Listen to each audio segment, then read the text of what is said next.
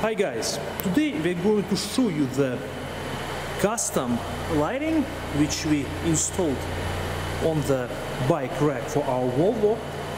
The bike rack was made by Hollywood Racks, it's called Destination E. Uh, originally it does not come with any lights and as you can see now we have our uh, stop lights which also work as turn signals. These are outer lights and on the inside we've got the marker lights on both sides. And this is how it looks now. And uh, also as you can see we have a custom bracket for the license plate which again will make your vehicle uh, visible for all the drivers uh, behind you.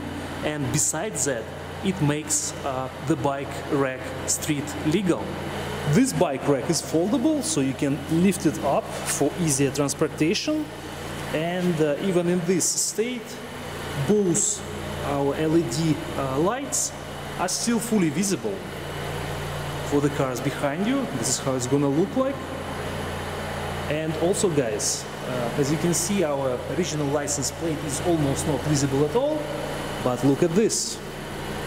We can simply turn the new license plate down and again it's fully visible. How cool is that? We will quickly demonstrate again how the lights work. Uh, let's turn on the left. So right now we have uh, left turn signals working. Let's do the right ones. Now the right ones are working. Let's do the stop light. And this is a stop light. Again, in this uh, state, you can still see the original lights on the vehicle, but once you lower the uh, rack and you have two bikes here, this uh, will play uh, a big difference, having these lights on the uh, rack. Our lights get the power using the 4-pin connector. Try to disconnect it, guys, and show you. This is how it looks. Uh, you can purchase it online and that's what we did. Also you will have to purchase the wiring separately. The wiring goes all the way to the lights and um, and again the lights we have to get them separately. Uh, they get attached to the frame of our rack by using super magnets.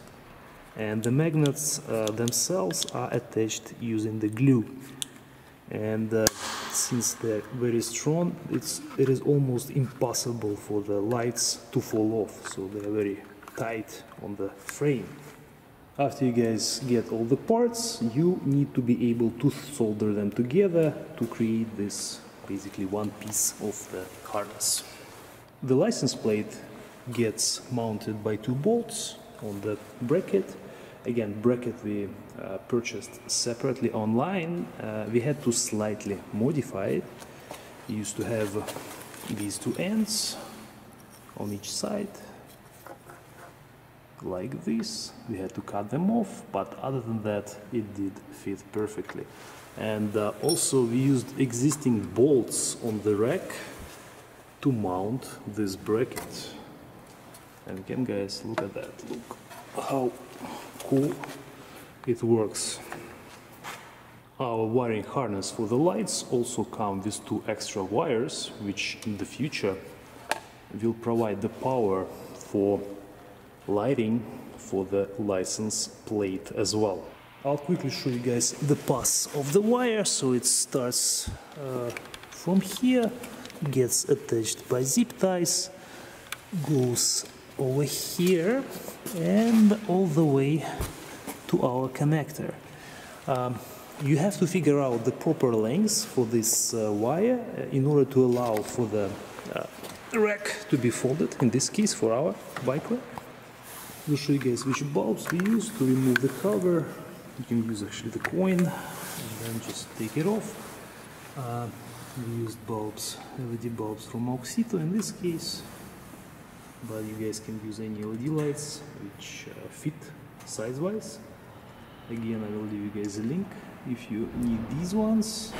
And again, guys, this is how our custom lighting looks like on our bike rack. I hope this will give you some ideas in case if you want to install a similar one on your bike rack, on your vehicle. I will also leave you links for the uh, products, for the lamps, for the wiring, for the connector, which uh, we used in this case. And uh, thank you for watching guys, we'll see you in the next video.